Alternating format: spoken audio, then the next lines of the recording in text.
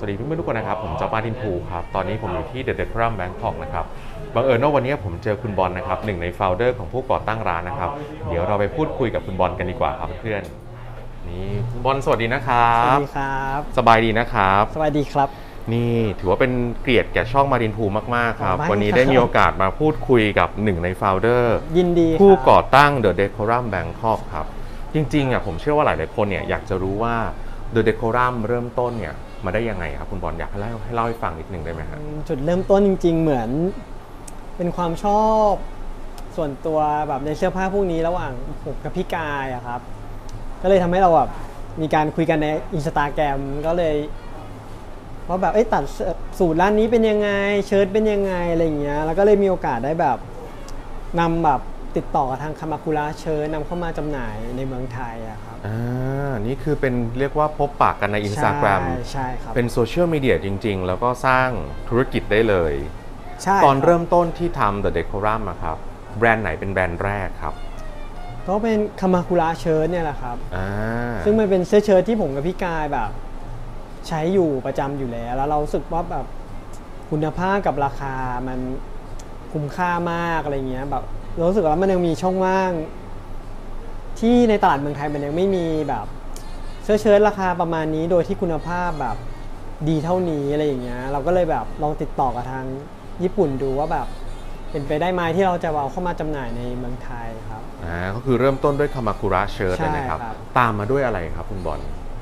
อืมถ้าเกิดคามาคุระแล้วก็ ก็จะเป็นตัวบูดูอินแอนแรงละครับอ่า เป็นรองเท้าที่ผมเนี่ยจะมาจัดในวันนี้อ่าเรียกคบว่า The Decorum เนี่ยเป็นคนบุกเบิกเลย เป็นเจ้าแรกที่นำเข้าแบรนด์นี้ ใช่ ครั้งบแรกทำไมถึงเลือกเป็นแบรนด์นี้เข้ามาครับผม เหมือนผมรู้จักกับแบรนด์นี้มาตั้งแต่ก่อนเปิดร้านแล้วอะครับหกเจ็ดปีที่แล้วอะไรเงี้ยครับ ผมก็เลย ไปเจอกับตัวเจ้าของเขาที่อังกฤษอะไรเงี้ยเพื่อเมื่อก่อนเขายังไม่มีหน้าร้านก็เลยไปเจอเขาที่แบบเวิร์กช็อปเขาอะไรเงี้ยสั่งรองเท้ามาคู่หนึ่ง ก็จะใช้มามาตลอดตอนเปิดร้านผมก็เอ๊ะเออผมว่ารองเท้าอันนี้มันน่าจะแบบตอบโจทย์คนไทยนะ ที่ชอบรองเท้าที่มันใส่สบายนิ่มๆอะไรอย่างเงี้ยครับ ก็เลยแบบติดต่อกับทางนู้นเพื่อแบบมาจำหน่ายที่นี่ นี่ก็ถือว่าเป็นอีกหนึ่งแบรนด์ที่มาแรงมาก แล้วก็อืมครับ เขาพูดกันว่าใส่สบายที่สุดแล้วในวงการของ b e l g i a n Loafer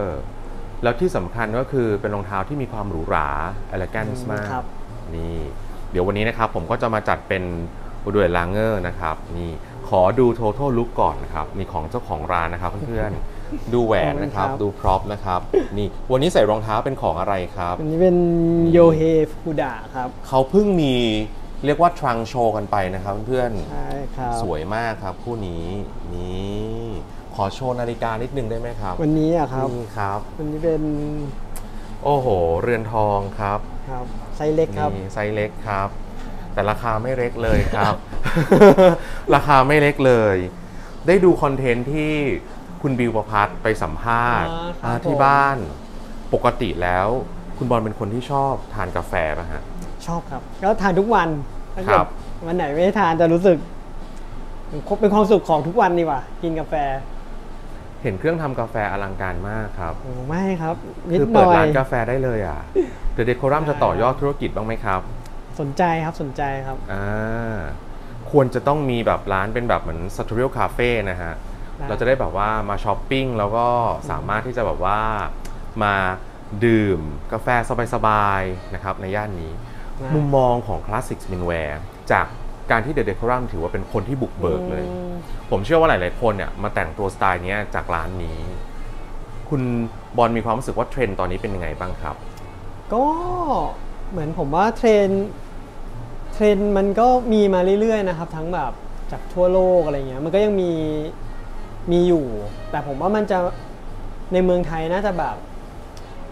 มากขึ้นเรื่อยๆสำหรับร้านใน Instagram ออนไลน์อะไรเงี้ยครับเห็นแบบช่วงปีมานี้ก็มีหลายหลายร้านที่แบบทำพวกกางเกงที่มันเป็นแบบขาเบิ้ลมี มีจีบมากขึ้นอะไรเงี้ยเอวสูงขึ้นอะไรเงี้ยครับมันซึ่งมันก็เป็นมาผลมาจากแบบตัว classic menswear ที่มันบูมในเมืองไทยด้วยครับ ตอนแรกที่บุกเบิกร้านมายากไหมครับ ตอนนั้นนะผมว่ายังไม่มีใครเข้าใจเรื่องกางเกงจีบกางเกงพลีทกางเกงเอวสูง หรือว่ากางเกงพวกที่มีแบบไซส์ adjuster ครับอะไรสักเท่าไหร่ ถามว่ายากไหมคือ ผมว่ามันตอนที่เริ่มทำเหมือนเราทำด้วยความแบบ ความชอบ เหมือนกับว่าเป็นของที่เราใช้อยู่แล้ว มันเป็น passion อยู่แล้วอย่างเงี้ย ครับ คือความยากไหมมันก็ เราไม่ได้รู้สึกว่ามันยากมากนะ แต่ว่าอาจจะว่ามันต้องใช้เวลาในการแบบ educate แบบ ลูกค้าหรือแบบตลาดแบบ ให้มันใหญ่ขึ้นอะไรเงี้ยครับ แต่ก็ได้พวกเพื่อนๆ พี่ๆ น้องๆ ที่แบบช่วยโปรโมทด้วยครับ มันถึงมาได้ขนาดนี้ครับ ส่วนตัวเลยชอบแบรนด์ไหนในร้านของตัวเองมากที่สุดครับ ถ้าแบรนด์ไหนที่ชอบอะครับ ผมว่าผมชอบคามาคุระเชิญนะครับอ่าชอบคามาคุระเชิร์ตเพราะอะไรครับ ผมรู้สึกว่าในในเลนส์ราคาเสื้อแบบเสื้อเชิ้ต3,000 บาท คือผมว่าคุณภาพคามาคุระเชิ้ตมันดี ดีที่สุดดีที่สุด ผมว่ามันพูดสาไปมารถเลยครับว่าดีที่สุดแล้วในราคานี้ไม่มีใครจะเทียบเราครับมันเหมือนทุกับความคุ้มค่าแบบเหมือนกับว่าของที่อ่าผมเลือกในร้านเนี่ย ผมว่าแบบถามว่ามันมีเสื้อที่มันสวยกว่า Kamakura ไหมในโลกนี้มันก็คงมีแต่แบบทางงานมือมากกว่านี้แบบใช้มือสอยอะไรอย่างเงี้ย แต่คือผมเลือกแบบในความคุ้มค่าของเงินที่จ่ายไปผมว่า Kamakura คุ้มค่าที่สุด อ่าอันดับแรกเลยคือ Kamakura Shirt ใช่ก็ยังเป็น hero product ของที่นี่มากใช่ใช่คือใครอยากจะได้ก็คือต้องมาซื้อที่นี่ เพราะมีสารพัดไซส์แล้วก็หลากหลายสีนะครับนี่ครับเสื้อเชิ้ตผ่านไปแล้ว ถ้าเป็นรองเท้าอย่างเงี้ยส่วนตัวแล้วเนี่ยคุณบอลชอบรองเท้าแบรนด์ไหนในร้าน The Decorum ครับ น่าจะเป็นตัว c o c k e t and j o n นะครับครับ เพราะว่ามันเป็นรองเท้าที่ผมใส่บ่อยอ่ามากนี่นะครับเพื่อนใช่ๆ จริงๆอะหลายคนอะจะชอบคิดว่า Cocker and Jones เนี่ยราคาคือแบบว่าแต่แต่เกือบ 30,000 แต่ว่าจริง ๆ แล้วเนี่ย Cocker and Jones ก็มีของที่ราคาแบบเข้าถึงได้ง่าย ครับผม ใช่ไหมครับ อย่างคู่เนี้ยอยู่ที่ราคา 16,500 บาท ครับนี่ทำไมถึงชอบ Cocker and Jones ครับเออผมว่ามันเป็นรองเท้าที่ใส่กับแต่งตัวแบบ formal ก็ได้ หรือผมแบบใส่กับยีนส์ก็ได้ ใส่ครับกางเกงผ้า chino ก็ได้อะไรอย่างเงี้ยครับอ่าเพ ราะอย่างตัวอย่าง Cavendish อย่างเงี้ยผมก็บางวันผมก็ใส่กับแบบกางเกงผ้าบูบางวันผมก็ใส่กับกางเกงยีนส์ครับ ผมว่ามันใส่ได้หลายโอกาส แล้วก็เหมือนเท้าเท้าผมเนี่ยมันเข้ากับแบบร้านของ c o c k e t and j o n อ่าด้วย เหมือนผมว่า c o c k e t and j o n เนี่ยมันเป็นร้านที่เหมาะกับเท้าคนเอเชีย ครับ มันจะมีความกว้างหน่อยไม่ได้แบบเรียวแคบมากอะครับอ่า ถ้าแบบว่าแนะนำคนที่แบบอยากจะเริ่มใส่ Cocker and Jones เนี่ย คุณบอลอยากจะแนะนำเป็นรุ่นไหนครับ อืมผมเออถามผมผมเป็นครับคู่แรกของผมก็คือครับคาเวนดิตดักอ่าดาวสเวดครับ นี่เลยนะครับเพื่อนใช่ใช่ๆสวยมาก คือเหมือนบางคนจะรู้สึกว่าแบบ หนังกลับมันไม่กล้าใส่กลัวดูแลยากกลัวน้ำอะไรอย่างเงี้ย ครับ แต่จริงๆ ผมว่ามันไม่ได้ดูแลยากอย่างนั้น อืม มันแค่ ฉีดสเปรย์กันน้ำก็พอแล้วอะไรเงี้ยครับ แค่บอกถ้าฝนตกหนักหรือน้ำท่วมเราก็แค่อย่าไปใส่มันก็พอแล้วโอเค อ่าจริงๆก็ผมคือว่าใส่ mix and match ได้ง่ายกว่าหนังธรรมดาด้วยซ้ำอ่าสำหรับตัว suedeแสดงว่าเราชอบอะไรคล้ายๆกันครับ ผมเนี่ยเป็นคนที่ชอบหนังกลับ เพราะว่าผมขี้เกียจจะมานั่งขัดรองเท้าครับเออพอรองเท้าแบบนี้ปุ๊บเราจะต้องมีการลงเวิ้งลงแว็กซ์ใช่ไหมครับ แต่พอเป็น suede นี่คือแบบ ง่ายมาก ครับผม แล้วก็ค่อนข้างนิ่มอ่ามันก็เป็น Cocker and Jones ครับ อยากให้พูดถึงแบรนด์อื่นๆนี่ครับที่มีอยู่ในร้านครับก็มี Alden นะครับครับก็เป็นแบรนด์รองเท้าจากอเมริกัน ครับซึ่งสไตล์มันก็จะเป็น workwear มากกว่า อืมดูได้จากแบบขอบพื้นมันก็จะทำออกมาหนากว่า ครับ ถือว่าแบบว่า The Decorum เป็นเจ้าแรกเลยที่แบบว่าได้มีการนำเข้าแบบในไซส์ที่เยอะขนาดนี้ถูกไหมครับ จริง ๆ ก่อนหน้านี้ก็มีร้านอื่นจำหน่ายเหมือนกันครับ ครับแต่ว่าถ้าตอนนี้น่าจะเหลือเป็นเราเจ้าเดียวในเมืองไทยที่อืม จำหน่าย Alden ครับ ครับ ใช่ก็ถ้าอันที่แบบเป็นเอกลักษณ์เลยของเขาก็จะเป็นตัว full strap shell cordovan เนี่ยครับครับนะสี color eightนี่คือเป็นรองเท้าในฝันของทุกคนมากๆนะครับเพื่อนๆอืมแต่ก็เหมือนกันครับ ถ้าถามผมผมก็ชอบตัวสเวทของเขา อยู่ดีอ่าก็จะเป็นคือตัวเป็นนี้ สายสายสเวตจริงใช่ๆ เหมือนผมเป๊ะเลย ผมก็เป็นคนชอบสเวตครับอันนี้ก็เป็นสนับสเวตครับ ครับเป็นพื้นแบบเฟกเวลอย่างเงี้ยอ่าแล้วเขาก็งอได้ใช่ใช่ครับใส่สบายเหมือนกันครับคู่นี้อันลายครับ อ่าเพราะฉะนั้นส่วนตัวแล้วแบบ แสดงว่าคุณบอลเป็นคนที่ค่อนข้างชอบ Progress and Jones ก็จริงๆผมใส่ได้ทั้ง CJ ทั้ง Alden แหละครับ แต่ว่าถ้าถามผม ผมว่า c o g g e n โจมนั้น ก็มีความหลากหลายกว่า เหมือนเขาจะมีพวกที่เป็นเด d ชูด้วยอะไรเงี้ยครับนี่นะครับใช่ถ้าเกิดแบบ Alden มันก็จะแบบไปทางแบบ อเมริกันเวิร์กแวร์เลยอะไรเงี้ยครับอ่านะครับนี่เป็นเชลซีบูทแบบนี้ใช่นะคครัรับบ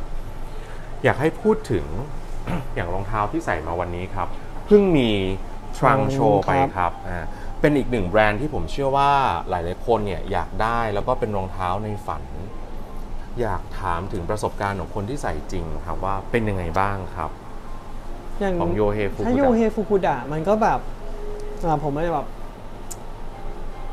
เหมือนรองเท้ามันก็จะแบบพอดีโอบกับหน้าเท้าเรามากกว่า ช่วงแว้มมันก็จะกดต่ำกว่า คือเหมือนเขาพยายาม ทำ ready to wear เขาให้เหมือนฟิลรองเท้า bespoke อะครับ ครับ คือเหมือนกับว่าเขาก็จะเผื่อพวกรูมพวกอะไรในรองเท้าน้อยกว่า ซึ่ง ถามว่าแบบบางมันมันต้องมีการมาลองครับว่ามัน เอ้ย เราพอดีกับเท้าแบบไซส์ไหนมากกว่า หน้าไหนมากกว่าด้วยอะไรเงี้ยครับ เพราะมัน มันจะเผื่อพื้นที่น้อยกว่า พวกรองเท้าแบบที่เป็น ready-to-wear แบบ Crockett and Jones อ่าแต่ในเรื่องแบบรายละเอียดการตัดเย็บหรืออะไรอย่างเงี้ยครับ มันก็ เป็นงานที่แบบทำเหมือน bespoke เลยครับ คือของจริงสวยมากนะครับเพื่อนๆ คือใส่ปุ๊บเนี่ยดูรู้เลยว่ารองเท้าคู่นี้มีราคาแพงครับด้วยทรงของคุณด้วยครับ การตัดเย็บแล้วก็ราคาเขาก็แพงจริงๆอ่าราคาเริ่มต้นอยู่ที่78,500 บาทครับอ่าเป็นตัว78,000เลชูแวร์ครับ ครับก็สามารถสั่งได้ทั้งปีาหรือเป็น MTO ก็สามารถสั่งได้กับทางร้านเราทั้งปีเหมือนกันครับ ครับ ถือว่าเป็นอีกหนึ่งแบรนด์ในฝันของคนที่รักรองเท้าครับผมนะผมเห็นแพ็กเกจจิ้งเห็นกล่องแล้วบอกได้เลยว่าสุดยอดมาก ขอบคุณครับ เนียบมาก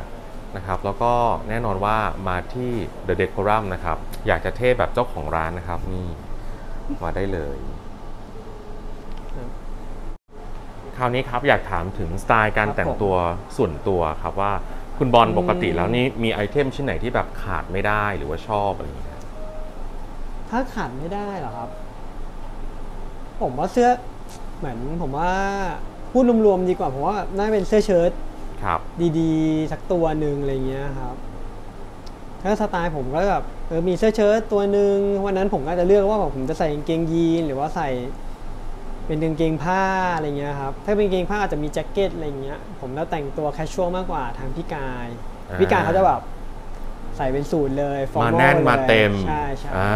คือ total look เป็นแบบว่าสูตรเลย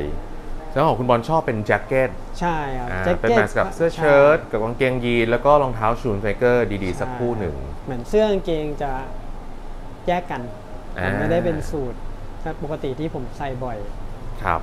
แต่วันนี้นี่ก็คือมาเต็มมากโดยไม่ได้นัดหมายครับเอาเดี๋ยวเพราะวันนี้มีไปงานต่อใช่นะครับ ก็เลยวันนี่นี้ใส่สูตรมา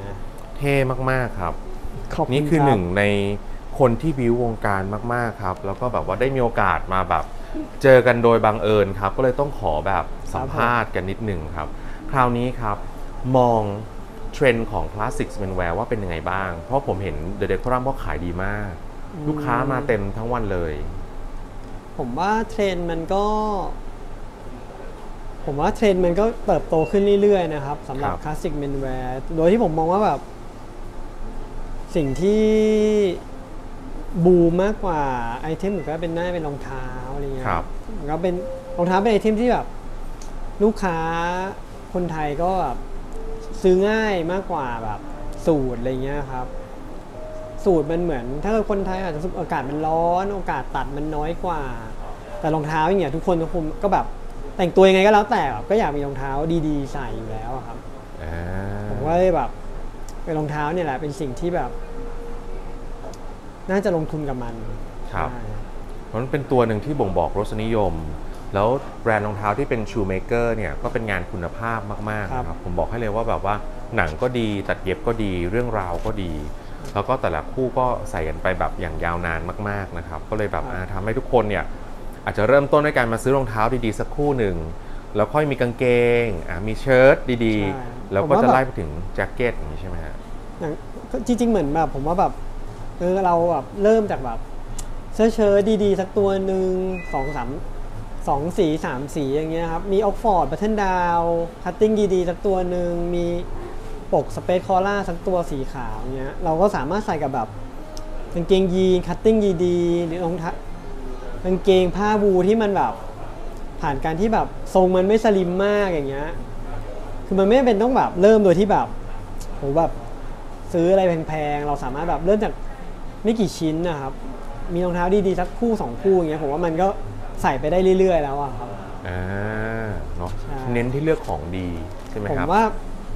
ซื้อซื้อน้อยแต่ซื้อสิ่งที่มันดีที่มันแบบ ใส่ได้ไปแบบอีกสิปี 20 ปีอย่างเงี้ย ผมว่ามันรองเท้าเงี้ยก็เป็นสิ่งที่แบบน่าลงทุนอืมโดยที่มันไม่ต้องซื้อแบบโหแบบแพงมากแบบรองเท้าคู่ละสี่ห้าหมื่นอะ ผมว่าแบบเริ่มจากแบบหกพันเจ็ดพันก็ได้ เดี๋ยวนี้แบบ เหมือนแบบในตลาดเมืองไทยแบบรองเท้าราคาหกเจ็ดพันเนี่ยมันมีแบบแบรนด์ดีๆ เยอะมากเลยอย่างแบบ อย่างร้านเราก็มีฟูกาชินที่เป็นแบบตัว entry level ที่ลูกค้ามาลองเนี่ยครับอืมใช่ จริงครับผมว่าแบบเพื่อนๆ วันนี้ผมก็ใส่ฟูกาชินมาครับใช่ทรงสวยมากใส่สบายใช่แล้วก็ราครัคาบคือแฟร์ไพรซ์มากๆนะครับ เดี๋ยวให้ดูนิดนึงนะครับเพื่อนๆ ใส่จริงใช้จริงนะครับ นี่คู่นี้สามารถมาดูได้ นี่ก็เป็นทรงมาท่านนะครับ คนชมเยอะมากเลยทรงก็จะมีความแบบหรูหราครับสุดท้ายอยากจะฝากอะไรถึงแฟนๆของ The Decorum บ้างครับ ก็อยากให้ รอติดตามปีหน้านะครับ ว่าแบบในทางร้านจะมีแบบไอเทมมีแบรนด์อะไรมาใหม่ ๆ มานำเสนอครับ ครับ นี่เพราะฉะนั้นก็แวะเวียนมาได้ครับที่ร้าน The ครับ Decorum นะครับอารีสัมพันธ์ซอย 5 ครับแล้วก็จะมาเจอกับผู้คนที่อยู่ในแวดวง การแต่งตัวทั้งสไตล์คลาสสิก m e n w e a r หรือเป็นสไตล์ sartorial นะครับ นี่แล้วก็จะได้มาเจอกับหนึ่งในโฟลเดอร์ครับของร้านนะครับ เป็นอีกหนึ่งท่านที่บิววงการมาก ๆ แล้วก็ทำให้ผมว่าหลาย ๆ คนเนี่ยสนใจแล้วก็อยากที่จะแต่งตัวในสไตล์นี้นะครับ วันนี้ต้องขอบคุณคุณบอลมาก ๆ เลยนะครับ ขอบคุณนะครับ ขอบคุณจ๊อบด้วยครับขอบคุณนะครับ ก็ถือว่าเป็น Exclusive Content นะครับเพื่อน ๆ นี่ยังไงอย่าลืมกด subscribe ช่อง Martin Pu กันด้วย แล้วเดี๋ยวคลิปหน้าจะเป็นอะไรงั้น ติดตามชมกันในคลิปต่อไปสำหรับวันนี้ผมจ๊อบมาดินพูลาไปก่อน ขอบคุณและสวัสดีครับ